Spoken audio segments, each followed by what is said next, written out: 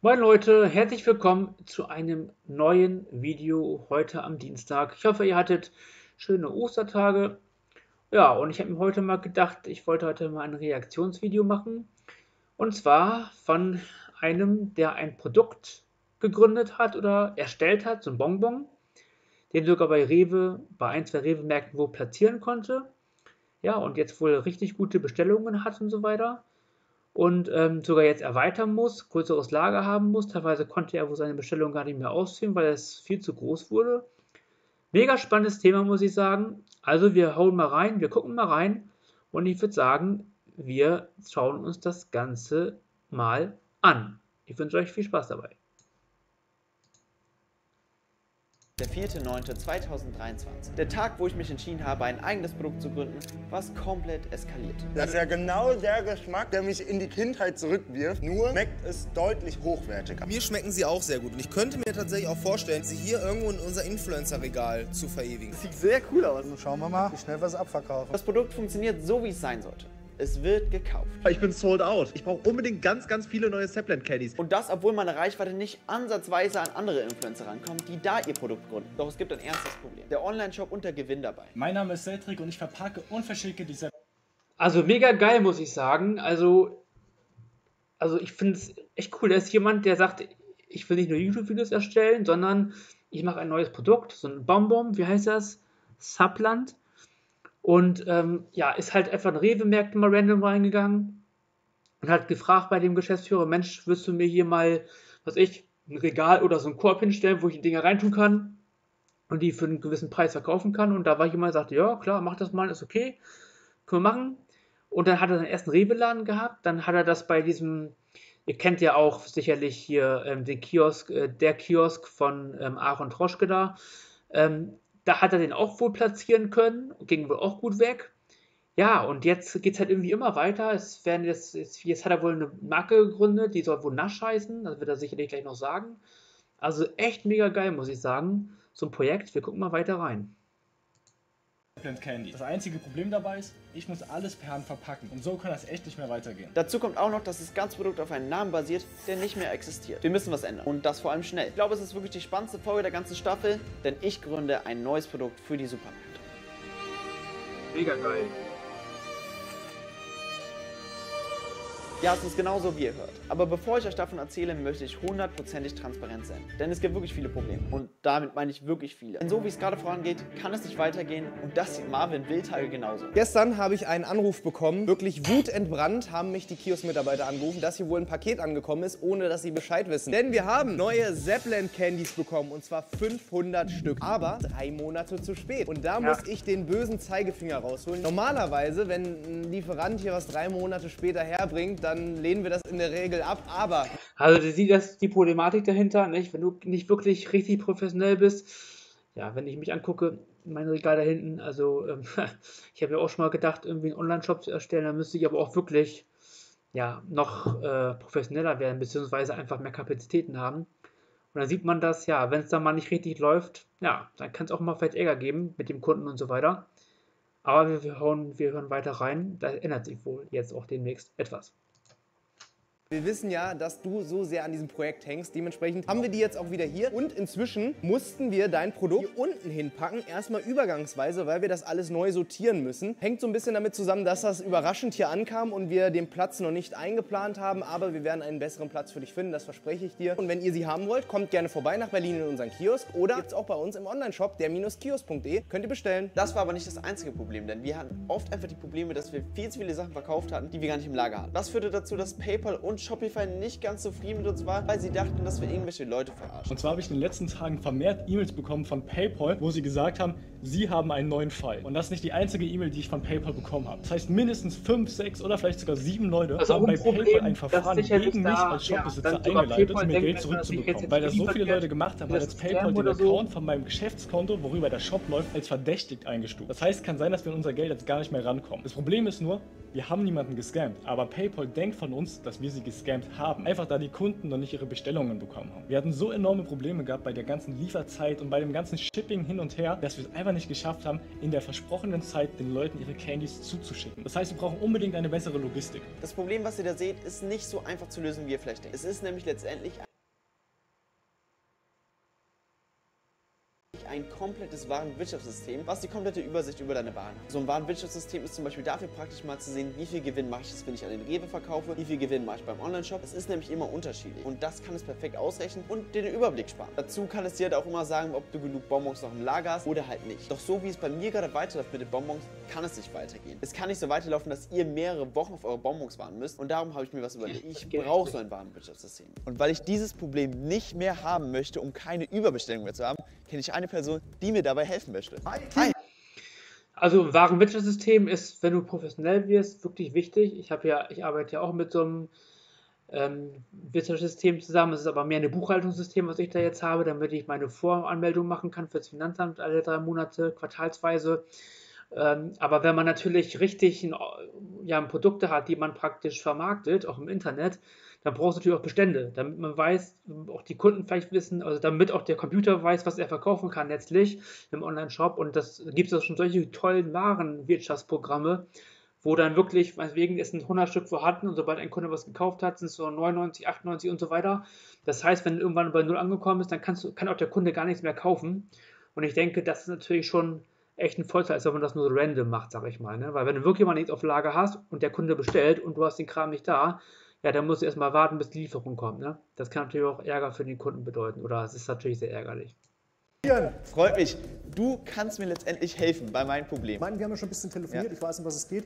Lass uns am besten im Lager starten. Machen wir so. Denn Mario kann dafür wirklich sorgen, dass ich nie wieder irgendwelche Überbestellungen habe, dass irgendwie Kunden über einen Monat warten und ich letztendlich irgendein Verfahren habe, dass irgendwelche Leute auf ihre Bonbons warten. Und darum, let's go.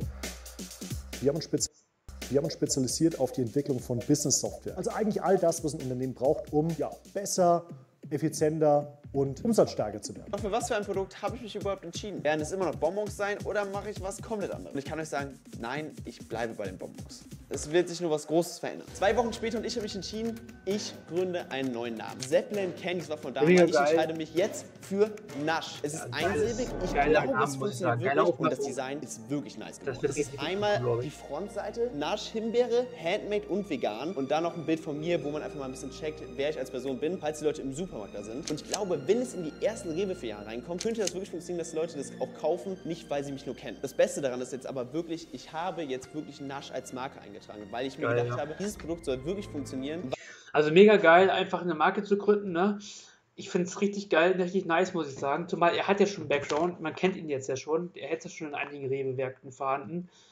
Und ich muss echt sagen, das ist auch nochmal so mein Traum vielleicht, so ein Produkt zu haben, was richtig geil läuft, wo du es vielleicht irgendwie in die Märkten auch sogar kriegst so ein kleines Produkt wie Bonbons, ich meine, das ist ja von Herstellung her sicherlich irgendwie machbar.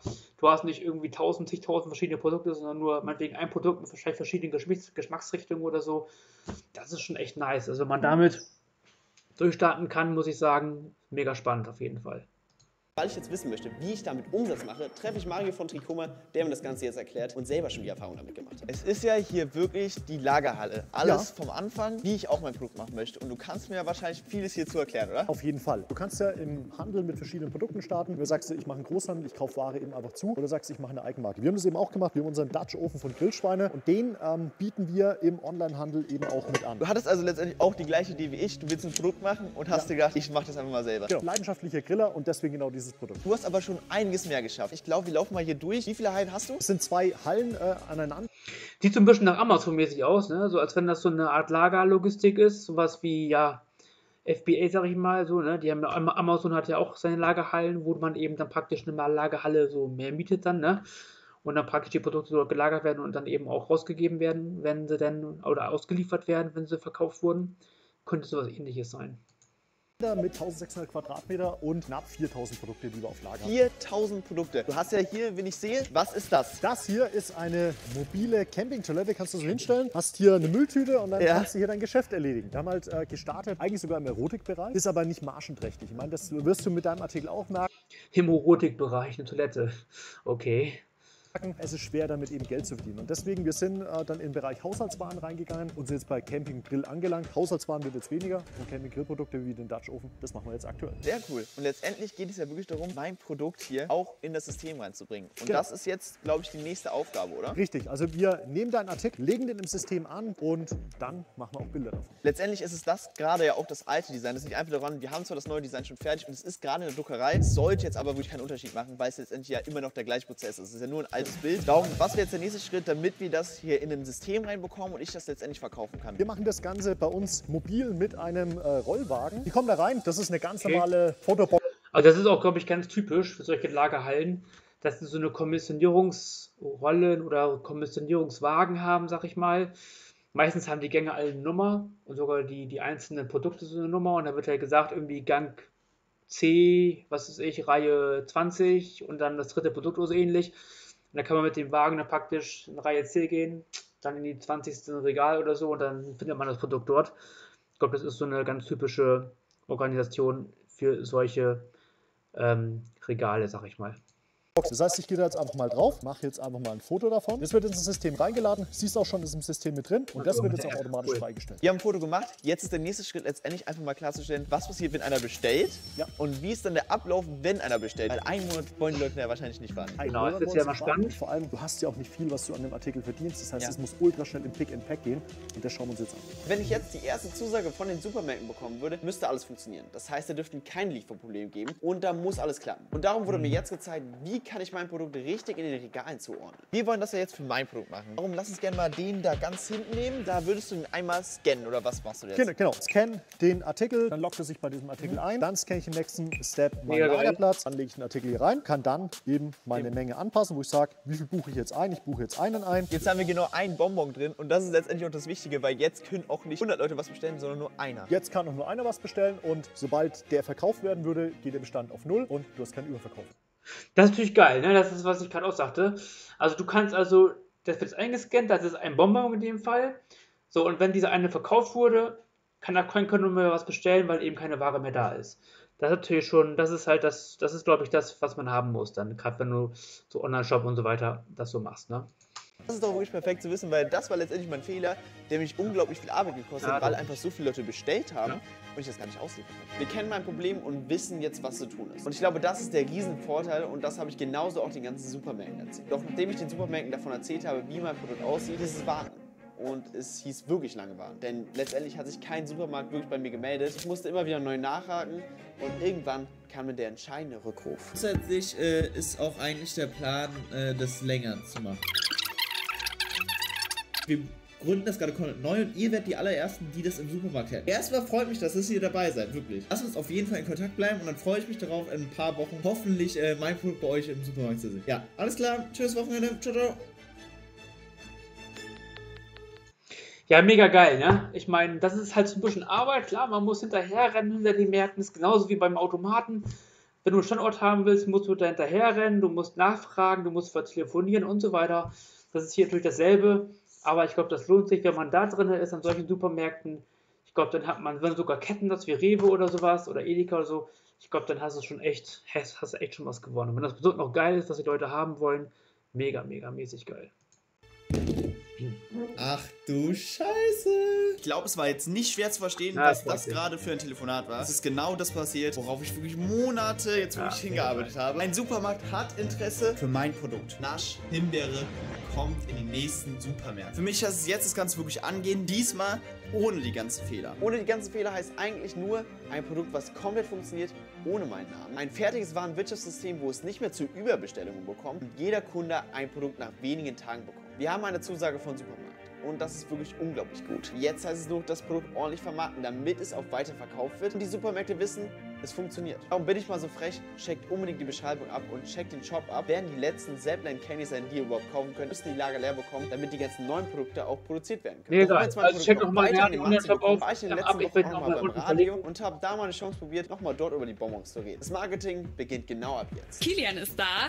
Er ist YouTuber, hat 56.000 AbonnentInnen und wir sind sehr froh, dass Ja, du heute mega. da bist. Was hast du überhaupt für. Produkte und wie ist das so, eigene Produkte auf dem Markt zu haben? Es ist auch wieder total random und nicht nicht irgendwie geplant gewesen. Ich habe jemanden kennengelernt, der Bonbons macht und so hat sich das entwickelt, dass es gut ankam. Ich gedacht habe, wait, daraus kann man eigentlich auch noch ein Produkt machen für sich selber und so hat sich das dann einfach weiterentwickelt. Jetzt stehe ich da mit irgendwie Bonbons, die an, an Kiosk oder an, an Rewe-Ketten weitergeleitet werden und mir so, ja, warum nicht? Kannst du ein bisschen anteasern, was so für Themen noch so kommen? Also es kommt tatsächlich jetzt direkt neuer ähm, Part für die Bonbons, weil ich jetzt einen neuen Namen dafür entwickelt habe Ah. und äh, der kommt natürlich dann in den nächsten Wochen online. Mehr kann man aber gerade nicht sagen, glaube ich. Ah, okay. Also da werden wir noch ein bisschen im Dunkeln gelassen. Naja, aber gespannt bin ich trotzdem. Mission erfolgreich. Und ihr könnt wirklich darauf gespannt sein, was in den nächsten Folgen alles passiert. Ab heute könnt ihr meine Zeppelin Cannys nochmal als das letzte Mal in der Beschreibung bestellen, also klickt da gerne drauf. In der nächsten Folge werden die ersten Naschbonbons in die ersten Rewe-Regale geräumt. Dazu wird das komplette Warenwirtschaftssystem fertig aufgesetzt und ein neuer Online-Shop entsteht, wo ihr dann die Bonbons bestellen könnt. Dazu kommen auch noch mehrere Sorten in der nächsten Folge. Es ist wirklich ein unglaublich Mega, riesiges mega Spektrum, was sich da gerade alles neu aufbaut. Also abonniert den Kanal. Ich möchte 60.000 Abonnenten Also mehr diesen Monat erreichen. Also drückt da jetzt krasser Typ, sag ich mal. Sowas liebe ich einfach, ne? Einfach so ein Businessmodell zu haben oder so ein Produkt zu machen. Macht Montana Galinci ja auch ein bisschen, äh, Montana Black, aber ähm, ja, muss ich sagen, ich finde sowas mega spannend. Ja, dann würde ich sagen, ähm, ich hoffe, euch hat das Video gefallen. Diesmal mal ein Reaktionsvideo. Und auch sowas wird öfter mal jetzt kommen auf diesem Kanal, denke ich. Einfach, ich finde einfach super spannend, was andere so machen und vielleicht kann man das eine oder andere auch wirklich abgucken. Da sind auch Business-Ideen dabei. Muss ich mal gucken, ich habe auch Lust, irgendwie mal ein Produkt zu entwickeln oder so, so eine Süßigkeit halt oder ja, so eine Art wie so, ein, so eine Candybox zu machen mit verschiedenen Produkten, die man dann halt als Bundle, so als ähm, ganze Kiste so verkauft, sag ich mal. Ähm, vielleicht die, der, die allerechte Baba-Box oder so ähnlich, ja. Angelehnt auf Ap. Nein, aber das ähm, wäre auch schon mal so ein Traum von mir. Mal gucken, vielleicht einen Online-Shop aufzusetzen oder sowas. Da wird sicherlich auch nochmal was kommen. So, ich würde sagen, lasst einen Daumen hoch, da abonniert den Kanal. Vielen Dank fürs Zuschauen. Zuschauen. Und dann würde ich sagen, bis Donnerstag. Ciao, ciao.